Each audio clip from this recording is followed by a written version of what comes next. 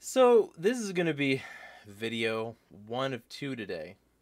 Um, because you know I don't want the first and and only video back in a week to be just like me bitching about my life.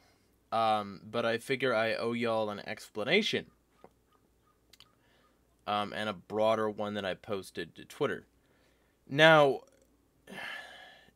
you saw the title, you know what happened, and you probably have surmised uh, which sick I got. But um, basically, I didn't want to say it on Twitter until I was sure, and I didn't want to say it on Twitter until I was ready to come back. You know, um, so I didn't want to say it in any format but basically, yeah, I I got I got the coof. Um, like. I I I didn't want to just jump the gun and say that, um, when I wouldn't have known for sure. Um, but it was pretty obvious when I started to, uh, lose my sense of smell, and uh, and taste. Now those are fortunately pretty much back. Um, a lot of people have a a lot harder time with it than I did, and uh, I I sort of attribute the same um, sort of faster recovery arc in that regard uh, that I had to the reason that I didn't have the coof for like the, the two and a half plus years that this you know edition has been out. Um because basically uh I, I think I just take reasonable care of myself most of the time. And that that's why I could bounce back from it. But um you know I ain't perfect.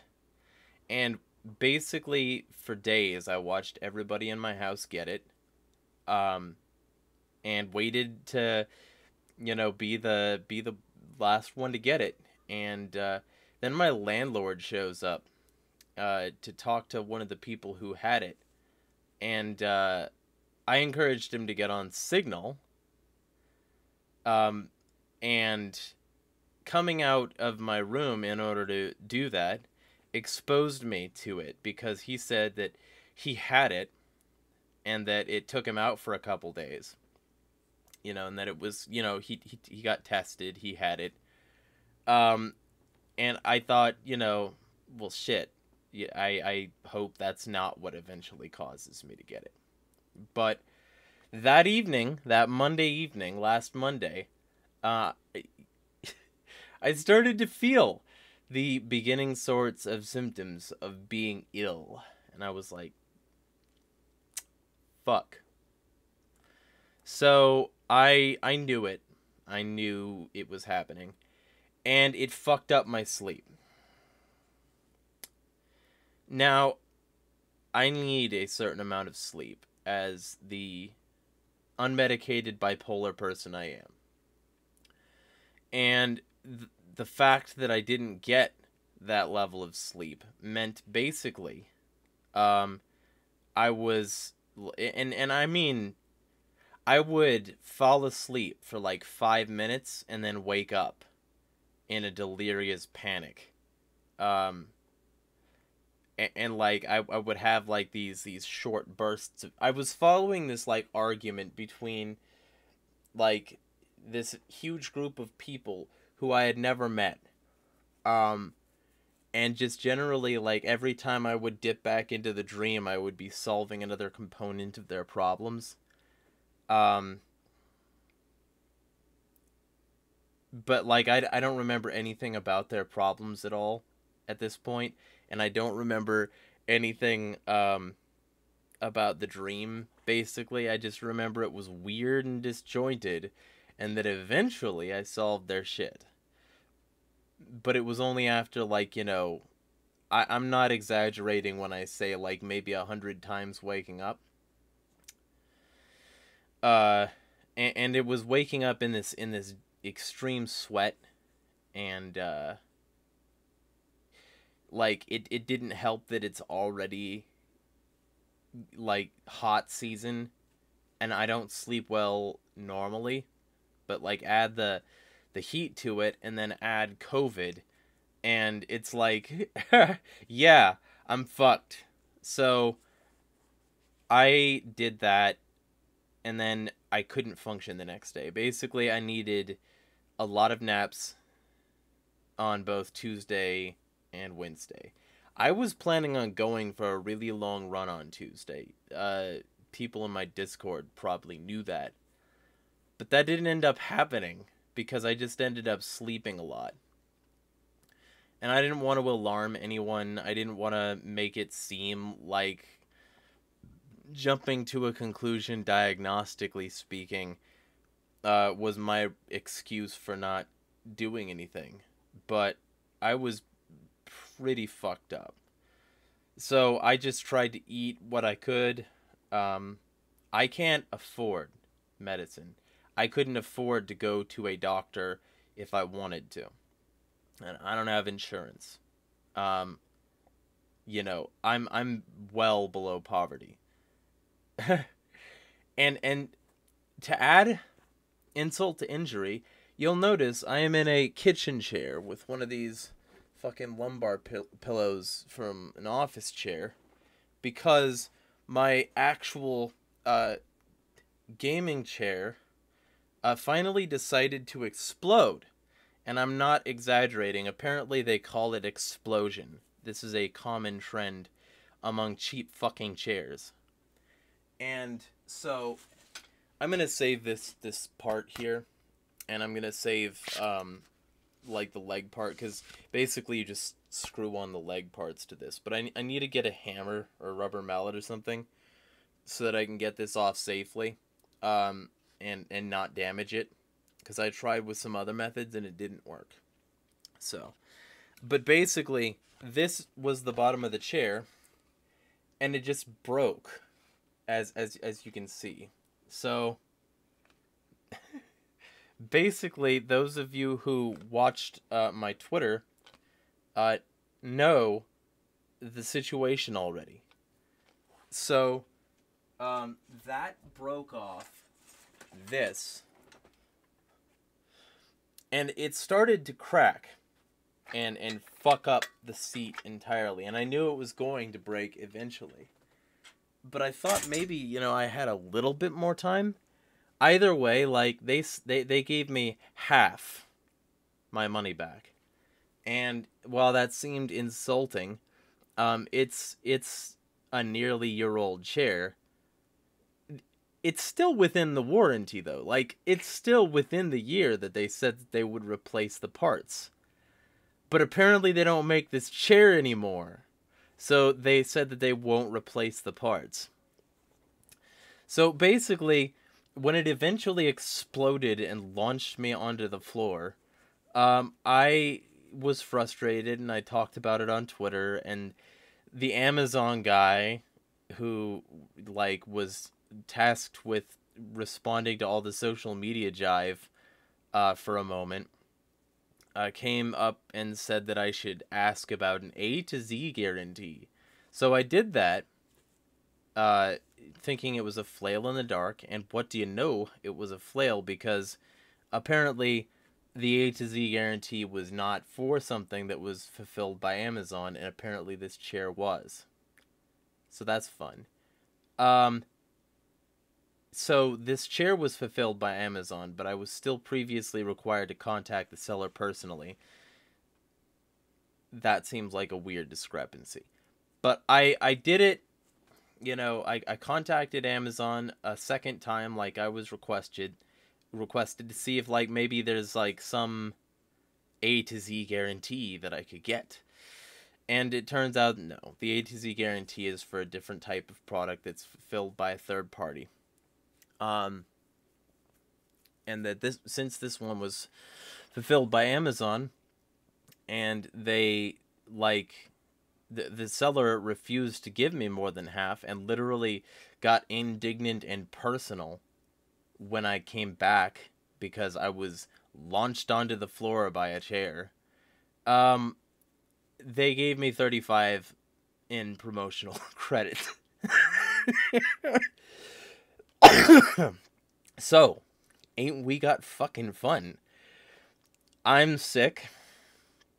I have, uh, you know, uh, a sleep deficit, and I get launched onto the floor, and it's not even Thursday. Um, well, I mean, I I think it was past Thursday when I finally got launched. I it's the details are fuzzy. The point is that the week sucked. And so I get, you know, basically the same level of fatigue as the week uh, would give me uh, all week, and I and I need to loosely sleep all week um, until I can eventually afford the energy to go for a short run to get some a small amount of provisions, like thirty dollars worth of groceries. Um, and so I come back, um, from this, you know, and and, and I'm still trying to figure out how to smell again like to smell everything fully because everything tastes like fucking poison and it makes me not want to eat um so you know i'm i'm looking up all these things about how to do like aromatherapy and shit so i get this like really strong barbecue sauce that was only a dollar and i think that really helped because it had like some red pepper and vinegar and shit in it and it was strong enough that i could smell the red pepper and vinegar. And I think that combined with constantly smelling my Axe fucking deodorant uh, and a variety of seasoning containers. Because uh, what they tell you to do in aromatherapy to regain your sense of smell is they tell you to remember how it used to smell. And I was like, well, that shouldn't be hard. It's fucking hard. It's hard to isolate what a smell is you know like you can sort of think about taste maybe but smell is is a whole nother ball of wax and this was that. So it was it was a challenge. It was a challenge but i think i've got my sense of smell pretty much back which is good because i hated it. I hated so much every day eating food and i started to lose mass. I wasn't working out. I wasn't eating. I was falling into a depression I still don't know where rent is coming from, etc. You know, I don't know where uh, expenses are. I, you know, I'm gonna get this chair new parts because even though I hate it and I resent the people who made it, um, I can't afford a new chair, especially not with the amount that that was given to me. Um, so, you know, I fell into a depression and that meant that even the past like couple days when I probably could have been making content, I was just sort of getting back the gumption to make more content because like I don't know if I'm going to make it into August in terms of rent and shit. So, lovely life uh, below poverty with no health insurance and a pandemic that finally caught up to me after years.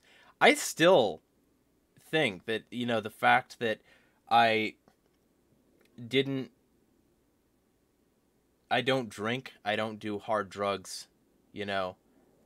I don't really do soft drugs anymore. Like I'm I'm sober and clean and I try to eat right and stay hydrated normally. I think all of that is probably what kept me from actually having a significantly worse time. Um, because I, I can't afford monoclonal antibodies and ivermectin like Joe Rogan. You know, I can't uh, afford a, a, a doctor in clinical therapy, and I will be damned if I'm going to get the same shot that my grandparents took within such a short period of time of dying. Um, I'm not going to do that because it would go against everything I believe. Not to mention the fact that the test itself is like hundreds of dollars, and I don't have that. Like it's a it's a real problem in America being below poverty level. If y'all want to throw money, I I'm not going to say no, and I'm going to try to make it worth it by putting out content and shit. Um but like I thought I owed you an explanation for the radio silence cuz I was all like gung ho and I was coming back and I was doing videos every day and you know then it just sort of so now y'all know uh, you know, I I had a good workout for the past three days, and I've been eating better, and I've been getting my gains back. Like, I I showed uh, one other person knows that I'm that that I've been ill. Uh, one other person, and and she said like I don't look bad. She said that the, the loss of muscle uh is is pretty much just in my head and you know, I still look fine. I don't know about that. I don't know. But what I do know is that I'm back now. Um, and not likely to move uh, if I can if I can get uh, enough, you know, for expenses and shit. But basically all of that is what happened. That's what happened to my last uh, several uh, days. Um, and why content has been slim again. So I'm gonna put out another video uh, after this one, but I I wanted to get this one out there first, um, in order to explain that, uh, because yeah, um, I I feel like y'all were owed an explanation uh, especially those who have been financially supporting what I do. Uh, basically, I needed to take some sick days, and there were some.